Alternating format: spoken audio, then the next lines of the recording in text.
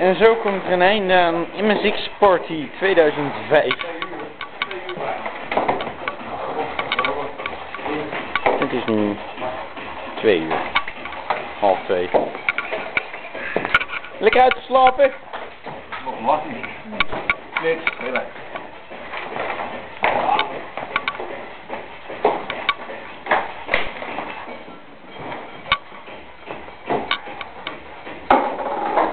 Ah ja, dat tap. Je hebt zijn uh, goede dienst alweer gedaan.